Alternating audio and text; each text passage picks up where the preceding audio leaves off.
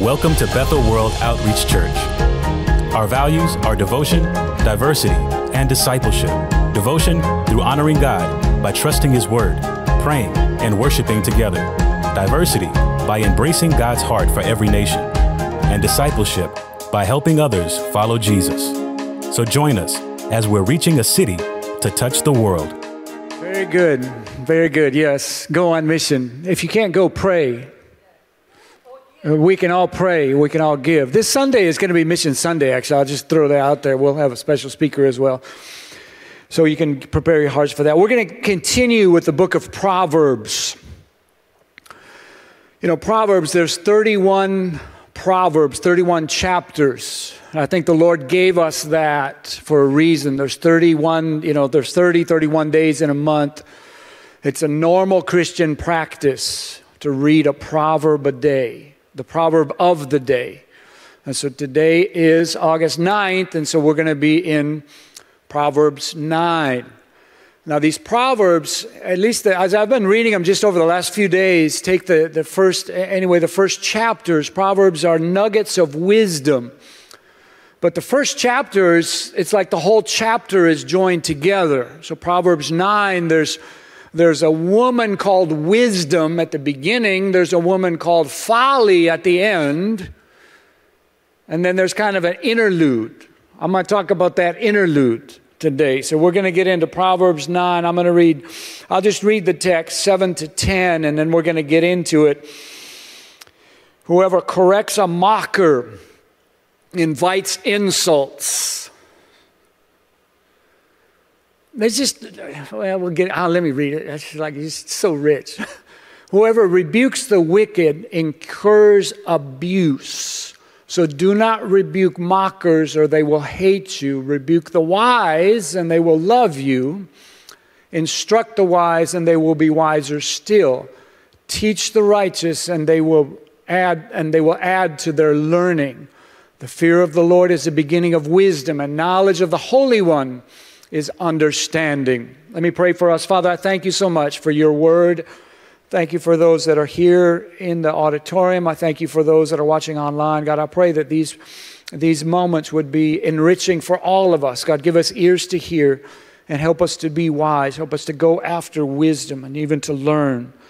In Jesus' name, amen. You got to remember just a little recap. I think Pastor Bryce and Pastor Dave have been here. They've been talking about Proverbs. Just to remember that Proverbs are not always promises that are guaranteed, but they're more like this will generally happen. There's Proverbs about prosperity. The hand of the diligent will rule. And there's, you know, the hand of the diligent makes rich. There's different proverbs about that now. But if we're living in a place that, generally speaking, is not in a place of prosperity in the, as, as the United States would be, then we can't just say, well, th- this didn't work for me. But generally speaking, they, they will, you know, that's the way life goes. Proverbs are not formulas that always work. Proverbs are not simple statements easily understood. They're almost like the parables of the Old Testament where you've got to really think about that. You could kind of feel me just pause. Whoever, what, what was that one? Whoever corrects a mocker invites insults. Do you really want to invite insults? Insult me, insult me, insult. That's what you're doing. So you have to think about it a little bit. You just have to pause. You know, I say read a proverb in a day. That doesn't mean that you just read through it and without pausing. And so, what I want to do, I want to go through. Um, you know, even here in the United States, we have different proverbs, different little sayings, kind of catchy sayings. Don't count your chickens before they hatch. Six of one, half a dozen of the other. In other words, it doesn't really matter. It's the same. You could go out this way, you could go out this way, six one, half the other. If it ain't broke, actions speak better late. You see those little things? And it's almost like each culture has their own proverbs. I was reading some African proverbs. And one of them was unless you know how to swim, don't, don't test how deep the river is with both feet.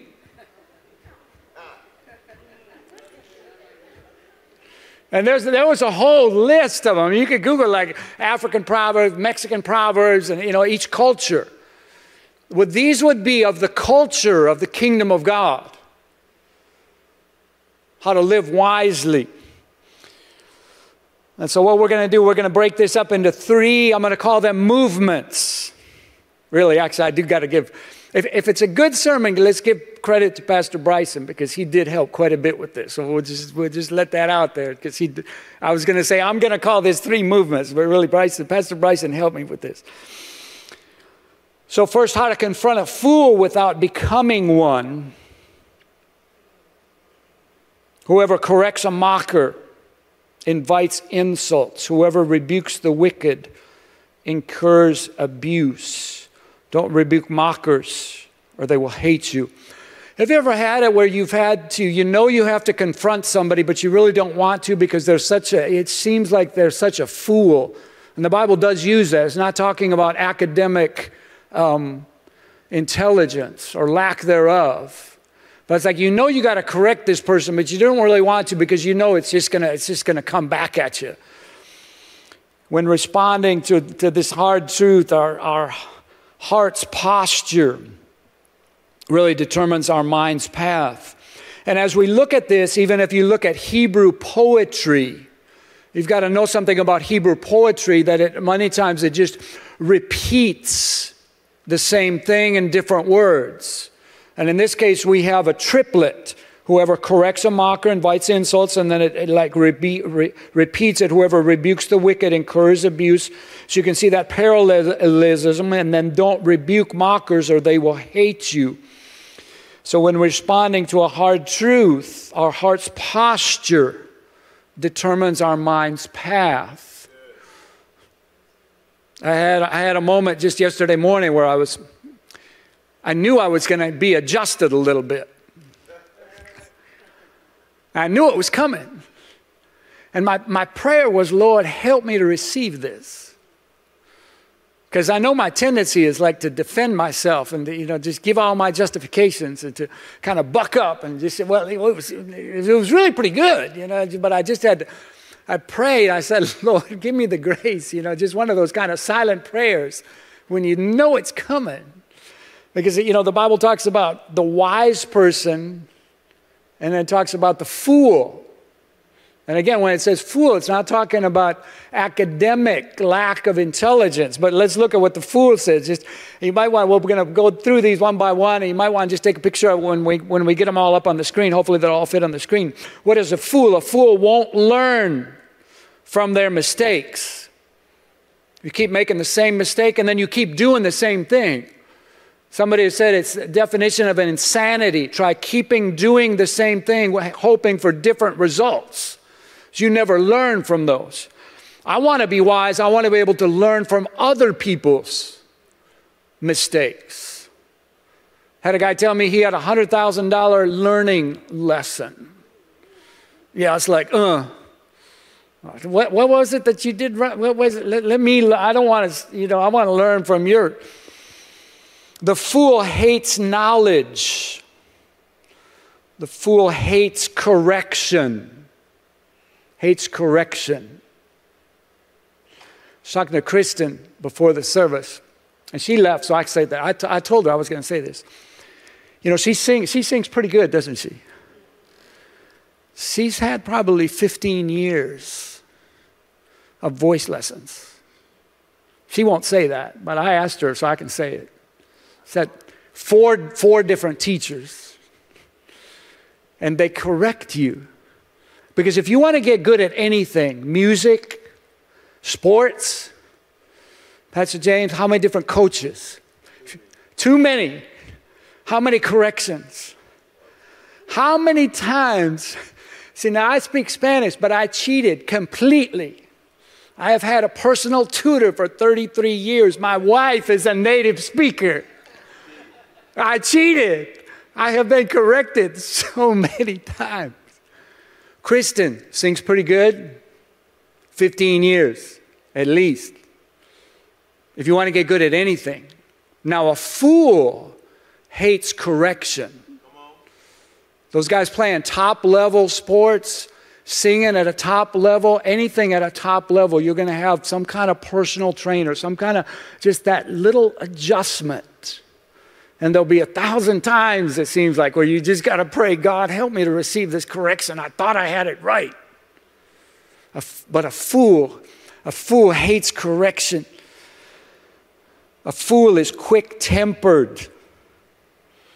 Fruit of the Spirit love, joy, peace, patience, kindness, goodness, self control, works of the flesh, and we always talk about we always talk about drunkenness and all this kind of you know that is works of the flesh. Another one is is outbursts of anger, dissension.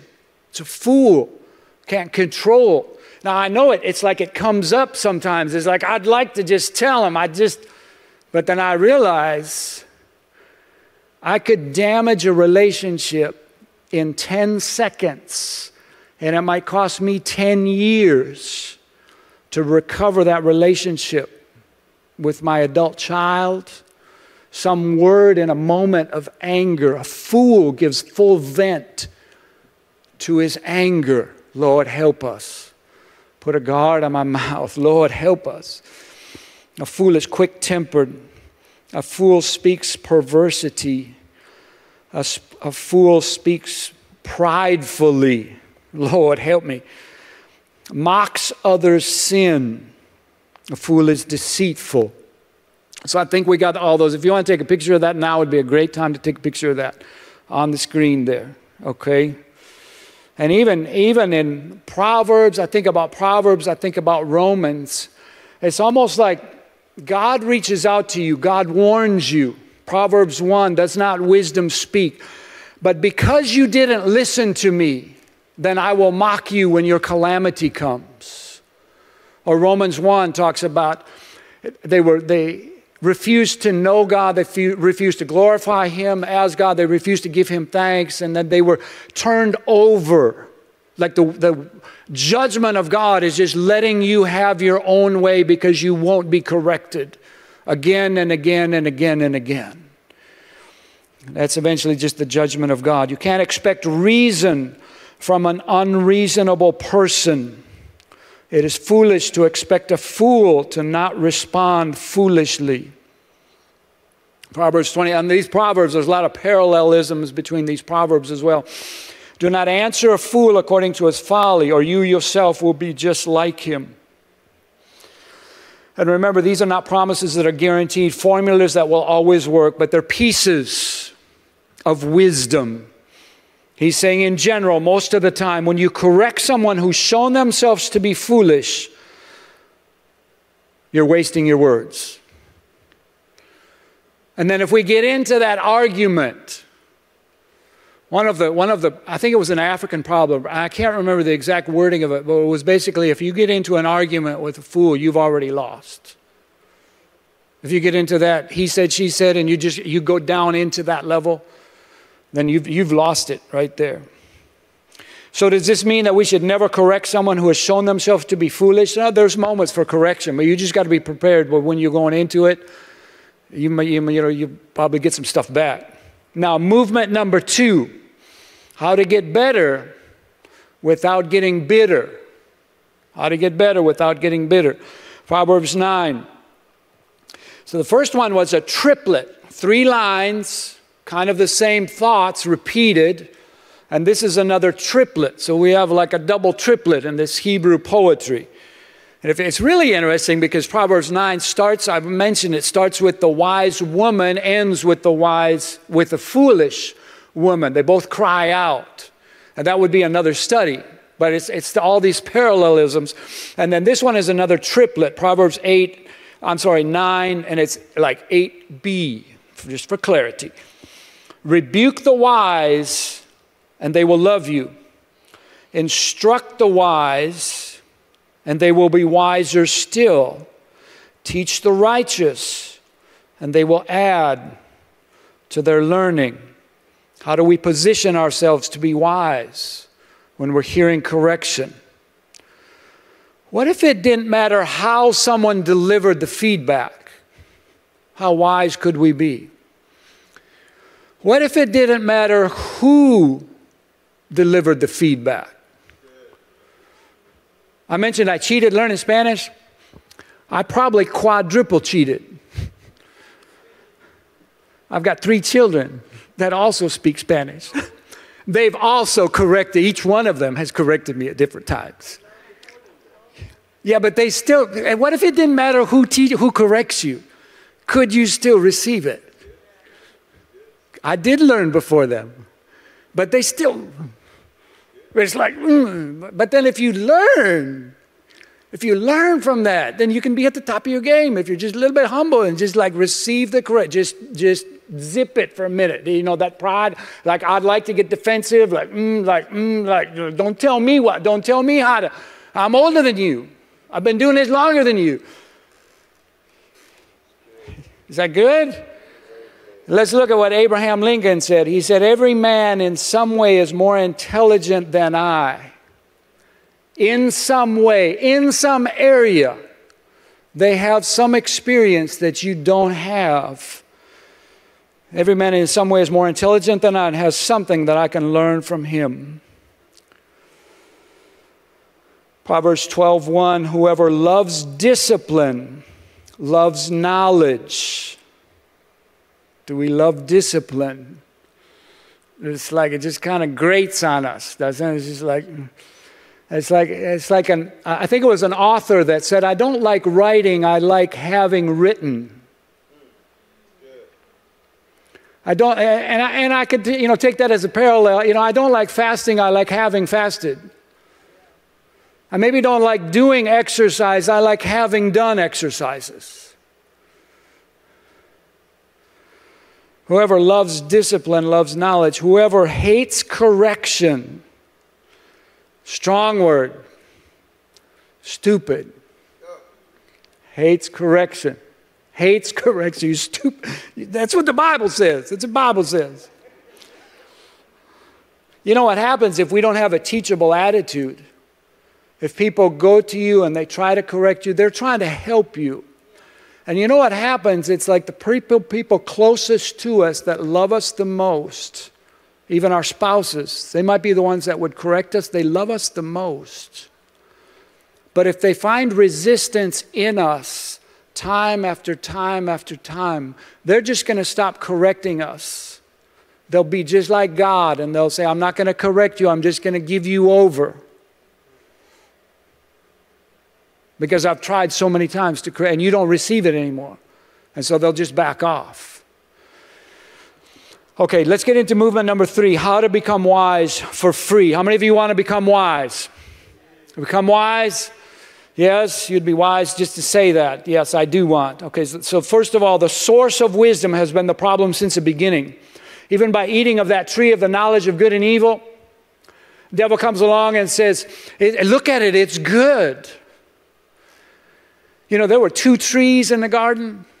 Tree of the knowledge of good and evil was a forbidden fruit. There was also a tree of life. But they could have any tree. They could eat from any tree except one. They were all good to look at. They were all delicious, I'm sure. Devil comes along and, you know, takes away God's word and said, No, you're not going to die. So even the source of wisdom they saw that it was good to eat, and it was delightful, and it was to make you wise so that you'll be like God. So they replaced the source of, wi- of wisdom. It was no longer God Himself, but now this delight for a moment. And I think that's a, that becomes a great equalizer where anyone become, can become eligible for wisdom. Again, it's not academic intelligence, it's godly wisdom. First of all, we need to acknowledge that God is God. God is the one who defines sin, He's the one that defines right and wrong, He's the one that defines who we are. Even Pastor James at the beginning of the service was referring, uh, encouraging us to realize who you are in Christ. Let God define. Other people have tried to define you. They've told you you're good for nothing. They've told you you're going to be a failure. They've told you you can't do. But if we let God define us, if you're in Christ, you're a new creature in Christ Jesus. The old has passed away. Behold, the new has come. Let Him define us that we're more than conquerors in Christ Jesus. This is the victory that overcomes even the world. It's our faith. Let God define how we're going to overcome. Let God define that we've been translated from the kingdom of darkness into the kingdom of light. Let God define us that there's no condemnation for those who are in Christ Jesus. As far as the east is from the west, so far as He removed our sin from us. Let God define us. As high as the heavens are above the earth, so great is His steadfast love towards those who fear Him.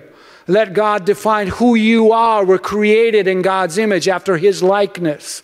We have been forgiven. We have been redeemed. We are now ambassadors of the Lord Jesus Christ. We've got to let God become the source of our wisdom, the source of our identity. Let Him be God. Number two, Jesus is the wisdom of God. 1 Corinthians 1, we preach Christ crucified, a stumbling block to the Jews stumbling block? How is it that our Messiah, how is it that our supposed new revolutionary, the one that was going to solve our political problems, our economic problems, how is it? This is a stumbling block. He died in shame. We preach Christ crucified, a stumbling block to the Jews, foolishness to the Gentiles. But to those whom God has called, both Jews and Greeks, Christ, the power, the power of God, and the wisdom of God. And there's other, other verses as well. Colossians, I don't think we have it on the screen. That's okay. In Christ are hidden all the treasures of wisdom and knowledge. So it's a matter of going to Christ. The closer we get to Jesus, the closer we, be, we come to wisdom. It's, it's in Jesus, it's hidden in Jesus that we need that wisdom.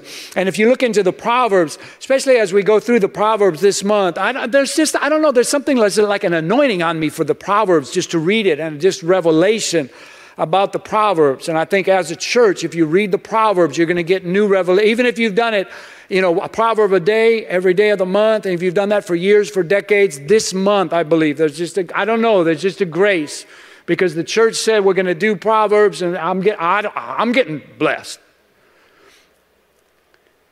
And, and if you look at the words, Proverbs 9, at the beginning, this same proverb, wisdom has built her house, she has set up her seven pillars. That's the one woman, the foolish woman is at the end of the chapter. She has prepared her meat, mixed her wine, she has set her table, she has set out her servants. She calls from the highest point of the city, Let all who are simple come to my house. I think of Jesus and say, Come unto me, all you who are weary and heavy laden. To those who have no sense, she says, Come, eat of my food, drink of the wine. And there's again and again and again, there's a, a call to desire. There's a call to, there's an invitation to us that we would desire, that we would call out, that we would answer. It's like God throws something out and He wants us to come walk with Him. He tells Matthew, Come follow me. Matthew has to follow Him. He tells the rich young ruler, Come follow me. He didn't want to.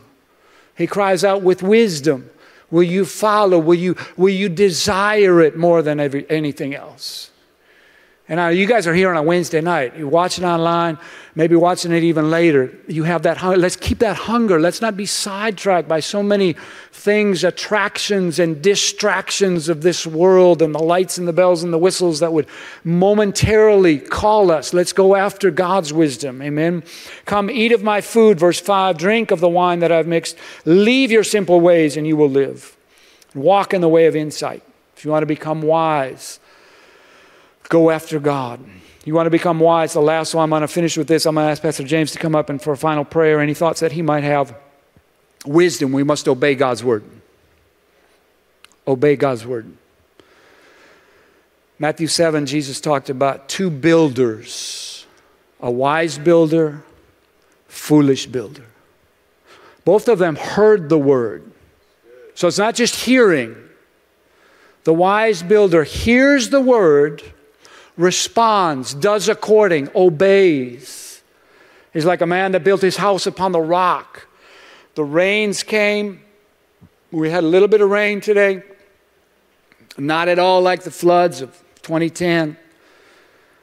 There will be rains, there will be winds, there will be storms in life. Those who listen to God's word and do accordingly, when those when the trials, not if, when the trials come, you will be prepared. Your house will stand. The foolish person hears the word, hears the same word, builds their house not upon a rock, doesn't dig down deep. They're just hearing, oh, that's nice. I'll just go my own way. I'm too busy. I don't have time. It's like the person building their house upon the sand. Rains came, winds will come. There will be trials, difficulties.